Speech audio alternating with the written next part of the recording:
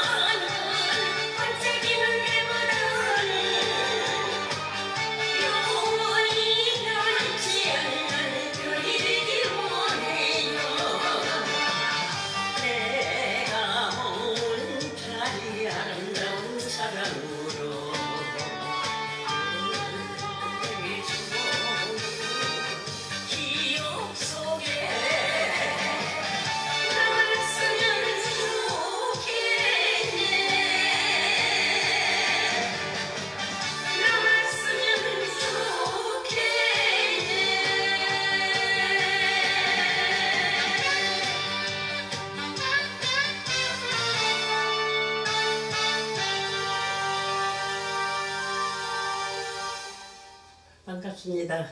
세상 모든 아들, 딸을 위해서 제가 작사, 작곡을 한 박경숙입니다. 많이 청해 주시고 사랑해 주세요. 감사합니다.